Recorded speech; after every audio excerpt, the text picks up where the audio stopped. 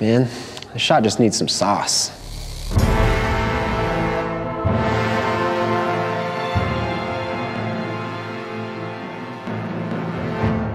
After years of waiting, Aputure has finally released their version of a tube, the Infinibars. Coming in hot with 1, 2, and 4 foot variants, are the Infinibars the revolution in linear LEDs that we all hoped for? Full disclosure, Aputure sent me these units for testing, but it doesn't affect my opinion on them, and they didn't get to see or have any input on this video before release. The first thing I wanted to test when the Infinibars arrived was the new connecting system that was all over Aputure's announcement video. Each unit comes with its own bracket that can be used to create a straight or right angle connection between the bars, and it also helps distribute power between them. Building the rectangle out of the four bars was as easy as can be. Those connections were super secure, and I was glad to find out that the seamless bezel selling point was an actual thing and not just a marketing gimmick. I didn't get any of the other bracket types sent to me, but there are a plethora to choose from that enable all kinds of shapes and designs. Because my apartment is made of all landlord special parts, I use the magnets on the back of the bars to stick them right on my door and confirm that the magnets would hold the weight of everything. A neat feature about the magnets on the 2 and 4 foot versions is that they're removable so you can place the bar flush on a surface. This also allows the bars to rest on top of one another for some interesting looks. And lastly, you can reposition the magnets when rigging the bars, something we'll get into a little later. After testing the connecting brackets, the next thing I was eager to see was the new clamp mechanism on the back of the bar. The machining on the clamp is flawless. I love the minimal look, and I want to give a shout out to the engineer that led the design on that. It fits snugly into the recessed grooves on the back of the bar, tightens securely, can be relocated quickly, and it's intuitive intuitive and easy to use. Quasar deployed something similar with their double rainbow tubes, and while I think both of these are a step above any other mounting method in terms of ease of use and quality, I definitely prefer the Aputure one. The track system is recessed, so I'm able to lay the bars flat on a surface, and it's easier to reposition or replace the bars when I don't have to slide them along the length of the bracket. So how secure are the new clamps? Well, I popped them on opposite sides of my Infinibar rectangle and boomed it out on two C-stands. This setup isn't exactly the lightest either. The two foot bars weigh two two and a half pounds each, and the four foot bars come in at 4.6. The clamps themselves also weigh a pound, so this whole setup is about 15 pounds hanging off the end of some gobo arms. By clipping a cheap window sheer from Walmart across the center, I was able to achieve a large overhead source in a really tight space. Before I brought the bars on set with me the next day, I wanted to confirm the claimed output specs as well as battery life and recharge times. I tested the output of both the 2 and 4 foot bars across CCT values and colors at a distance of 3 feet. Here's the values that I measured compared to Aputure's claims. I charged and burned the lights down a few times throughout the day as well to test both the battery life and recharging times. While the battery life on all the bars I received were within spec and is handily shown on the bars as they're used and updates as the power draw changes, charging one of the 4 foot tubes takes a significantly longer time than what's claimed by Aputure. Maybe this is because I got an earlier production model or something though. The first real tests for these units came over the following few days. The first day out, the DP wanted B-roll of our talent driving around in his truck, so I needed something that would both balance against direct sunlight and be mobile. Sounds like the perfect job for the new bars. I taped a two-footer to the dashboard for this shot, set it to daylight, cranked it to 100%, and it was just enough to lift the shadows, even in direct sunlight. This time, I'm helping to create training material for a dentist's office. The DP asked if it was possible to rig the Infinibars to play underneath the cabinets all day. The catch is that the rigging had to be minimal because the underside of the cabinets would be in frame. Normally I'd use magnets and tape to solve this issue, but because of the weight of the bars, I was worried that the length of tape required to get the magnets in place would also end up in frame. We resolved the issue differently, but it made me curious as to how I'd do this next time. So I threw the question to my favorite gaffing forum and tested some of the responses.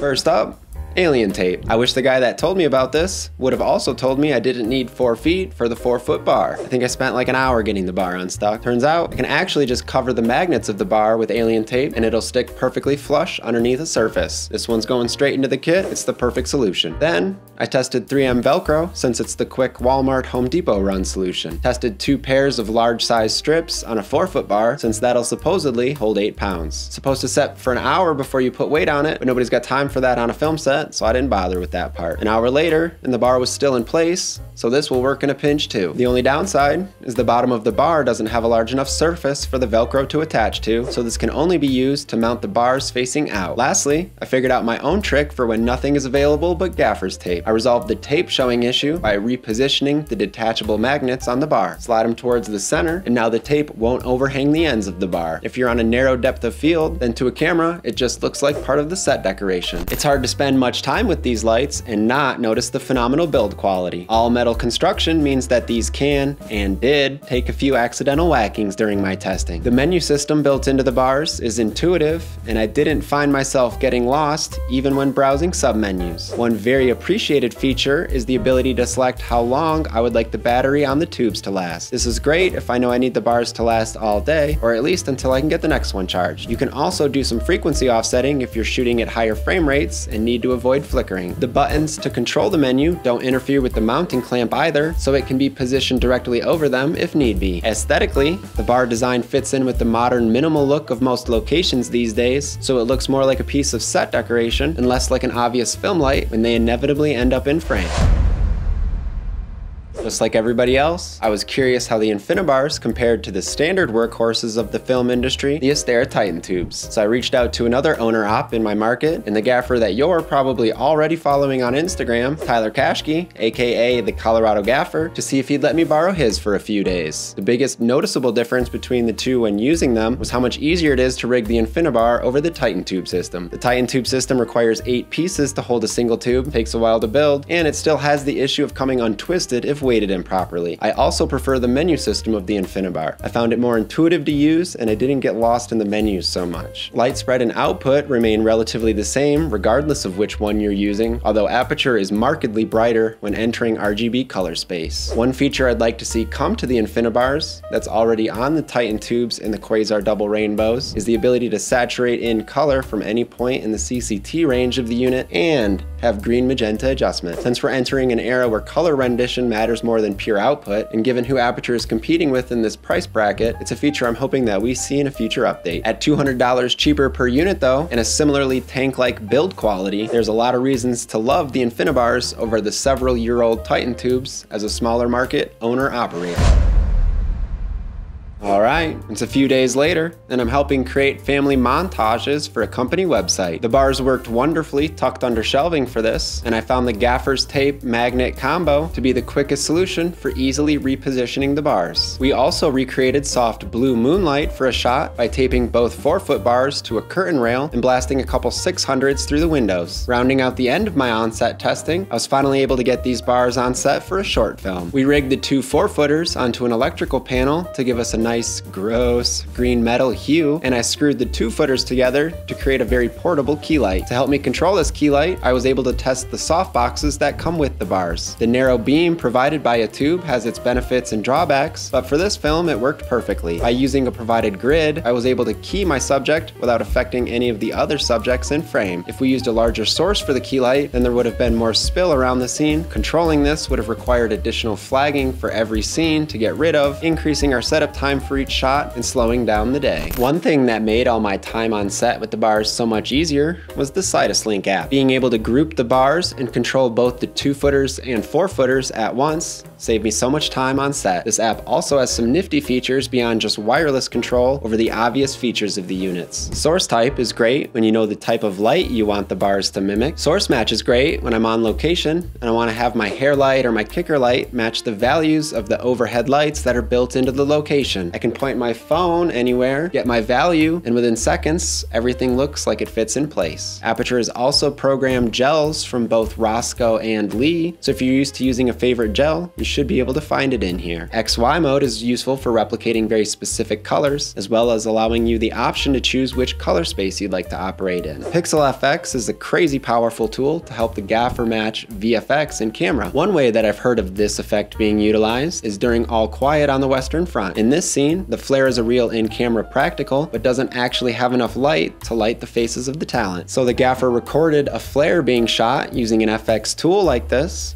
and then played that back on lights rigged to a crane to match the timing of the flare so that all the effects would work, be realistic, and happen in camera. Super cool stuff I'm excited to see what some young and hungry filmmakers do with something like this. Sure seems like a lot of positives, so did I discover anything negative about the bars over the course of my testing? Of course I did. I'm never afraid to nitpick, so let's dive into some areas that these bars could be improved. First up, if the bars are advertised as being able to be placed in frame, then why is there no clean side to them? I either have the charge port or the warning labels in frame, kind of a frustrating oversight. An IP20 rating means that these bars are strictly for indoor use only. When used in individual addressable pixel mode, the lights run in RGB and not RGBWW mode. One thing I'd like to see them do in future iterations to really seamlessly work in virtual production environments is have dual ethernet ports like the double rainbows, so the InfiniBars can be daisy chained together to reduce onset cabling. Last, when I built my rectangle, I noticed the pixel effects run twice on the 2 foot bars for every one time it runs on the 4 foot bar. This happens because the pixel effects are dependent on the length of each tube. Hopefully there's a future update that enables selection between centimeters per second and the amount of times the effect runs across all bars per second when we group them together.